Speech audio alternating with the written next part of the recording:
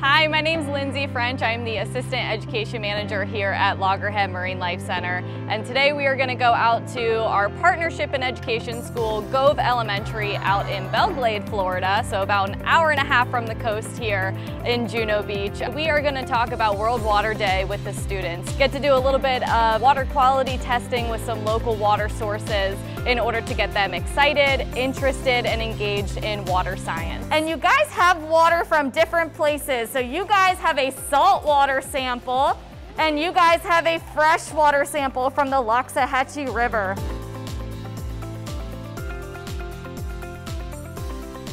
There you go, you got that.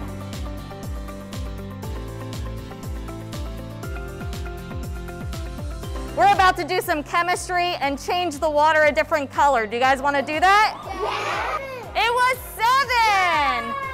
Seven is what animals like to live at, that pH of seven. I'm Gail Zavala, and I am the STEAM teacher on the Fine Arts Wheel here at Gove Elementary. I wanted the children to have a respect for water and water quality.